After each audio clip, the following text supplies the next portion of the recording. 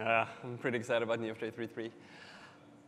So, so this vision that I talked about before, about building like a database, a real database, transactions, durability, persistence, etc., but with the new data model has really been our guidepost for since 2007, right? To build the best graph database on the planet. And I think Neo4j 3.3 is the best graph database on the planet today. And we worked really hard on that for, for a decade, right? We've come really far, but when I talk to customers, I see myself on screen, on stage. This is probably not what's supposed to happen. This is one of those uh, meta recursive things. Um, but when I talk to my customers, and we, we frequently are out and we see how, how you guys use uh, Neo4j, we see that there's a lot of work left to be done, right? What we see as a huge surprise to absolutely no one is that Neo4j very seldomly is deployed in isolation. We live in an ecosystem, of course. There's a relational database, and you move data in and out from that relational database to Neo4j. There's a data lake and legacy data warehouse or um, an, an, an, more modern big data Hadoop Spark type environment, right? And move data in inside of, outside of that, et cetera. And so what we've said to ourselves is that, well, so how can we make it even easier for our customers to get started with all this, right? And make it more frictionless to build graph-powered applications. And that has made us think a lot about what's, what's next in graphs. What about the next few years in graphs? What if you could simply get all of these technologies in one cohesive package, right? What if you could start with an amazing database like Neo4j, right, which could do graph transactions in real time, right? But then on top of that, what if you had a very powerful and rich analytics library on top of that, where you can, which comes with a built-in set of graph algorithms, right? Could run them at massive scale. And what if you had a set of technologies that made it really easy to move data in and out of your graph system, right? To integrate with your relational database, with your other NoSQL databases maybe, with your data lakes, with your data warehouses. And what if you had rich and, and sophisticated tooling to enable both data scientists and data analysts as well as, as, well as developers to work more powerfully with, with that connected data? And what if you had a toolkit that would allow you to expose this to business end users in a code-free navigation type way that ena enables both visualization and discovery for those users, and a rich and consistent and unified powerful API to all of this, right? This architecture is, this or variants of this, we see in almost all of our customer projects. People build up something like this. And our goal is to take that and put that in one cohesive, well-integrated package and offer that to you uh, end users. And we call this the Graph Platform. And I believe that this is the future of graph technology. And I'm super excited to tell you a little bit more what we're doing in, in, in this world. I think of it a little bit like the LAMP stack for the web, right? As the web rose to prominence in the 90s, the LAMP stack emerged as kind of the default way, at least the default starting point to use to build web applications. This should be the same level of cohesive, well-integrated package, your one-stop shop for everything connected data, right? We believe that this is the future of graphs, and we're going to be completely focused on building out this in the future. But much like the perfect graph database wasn't available when we got started in 2007, the entire graph platform isn't available today. However, here to give you a little bit of a sneak peek, a sneak preview of the future, and show you a little bit of a demo of this graph platform is none other than my colleague, Ryan Boyd. Ryan, please take the stage.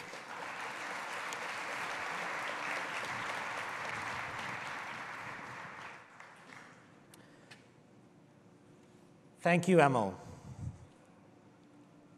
I am going to show you today how the Acme Payment Network, like some of the top payment networks in the world, uses graphs to power their business.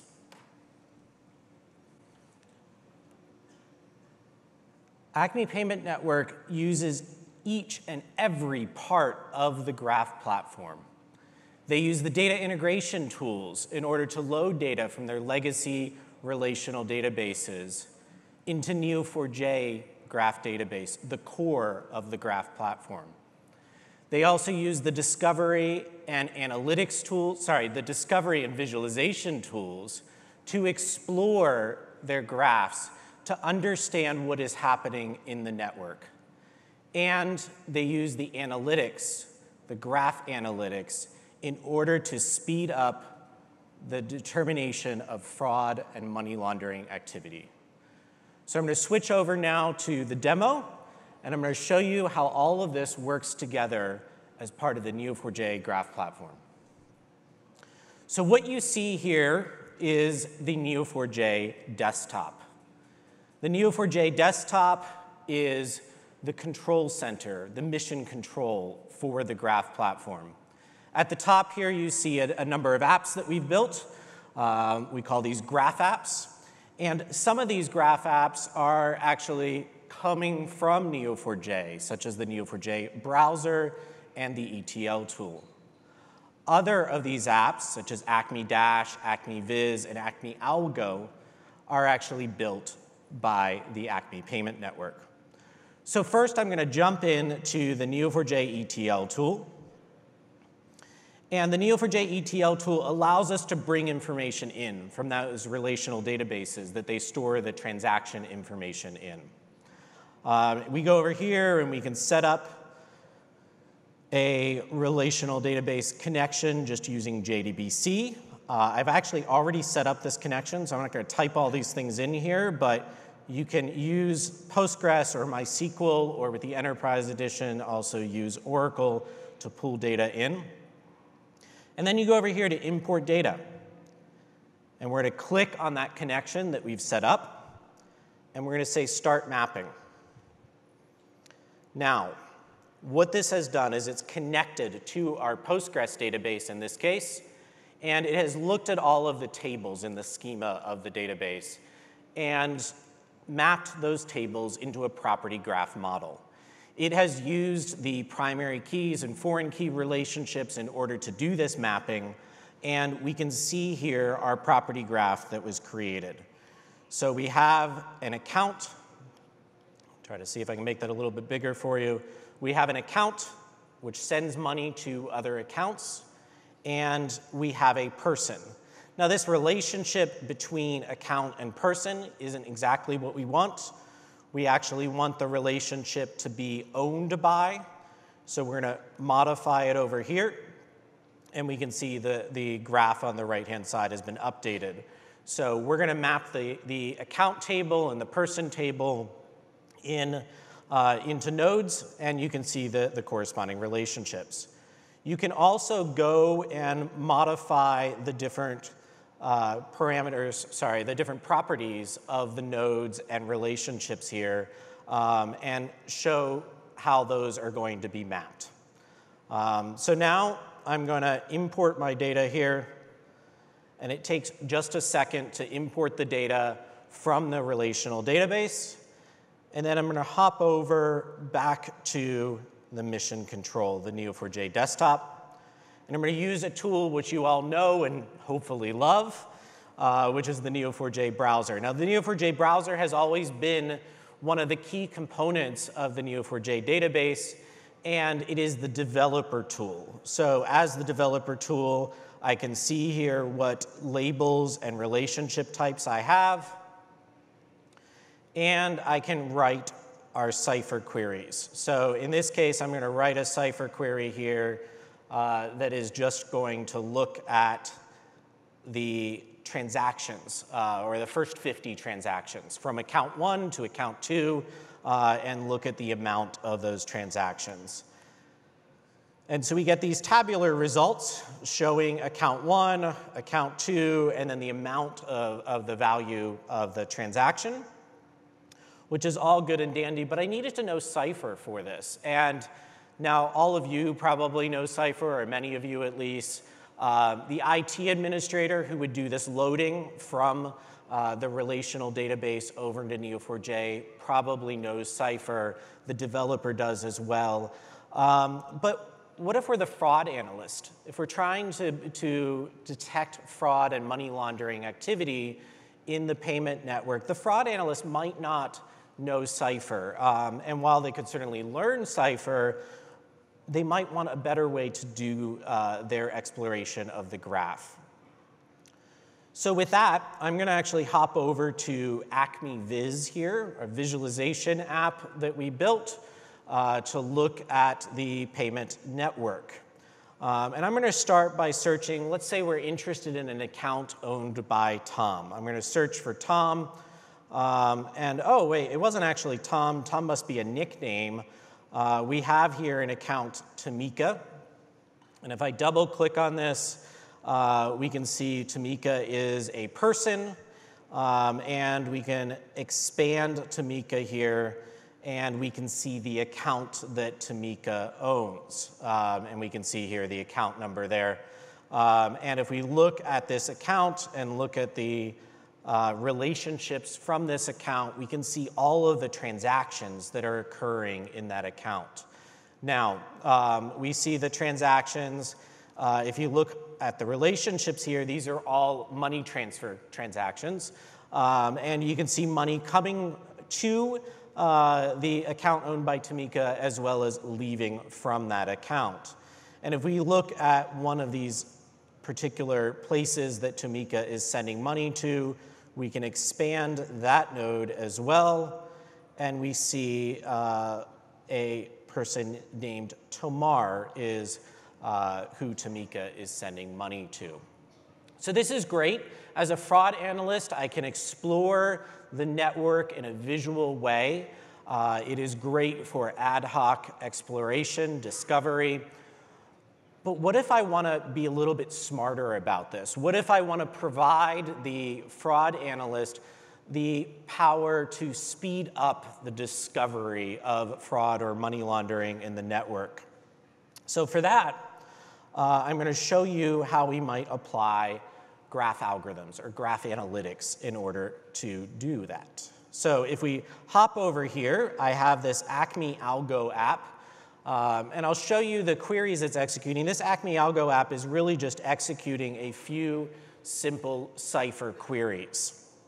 The first one is union find. Uh, this is a clustering algorithm to determine the different communities in the graph. These are people that are transacting often with each other, sending money often to each other in smaller groups. I'm going to add some labels so we can see what those communities look like. And then I'm going to also run a centrality score so we can see the important actors in the network, the people who a lot of these money transfers are going through. Now, I just wrote this simple application here to call these Cypher functions. For those geeks in the crowd, I will show you what that looks like. Uh, we are actually just calling a couple procedures in the algorithms library. The first one here is calling the union find procedure, passing in a virtual graph to that procedure. Um, and then we're labeling the nodes and running the closeness centrality algorithm here. Okay, so we've run these algorithms. Now let's jump back to the discovery and visualization tool, or the discovery and visualization graph app, and see how those algorithms have helped us speed up our results here. So instead of searching for Tom here, what I'm going to do is search for account that sends money to account. And notice I'm not using Cypher here. Uh, it is looking at the labels and relationships in my database to do this. Um, and I'm going to find all of the transactions in the database.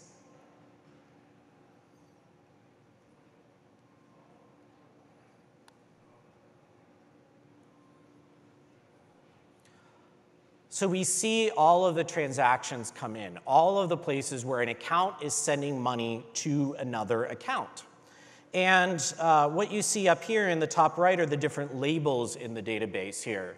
And so we have cluster one through five. These are the community detection algorithm results uh, that are clustering the current transactions, the transactions that we are uh, of interest to us today. These are the transactions that have occurred recently.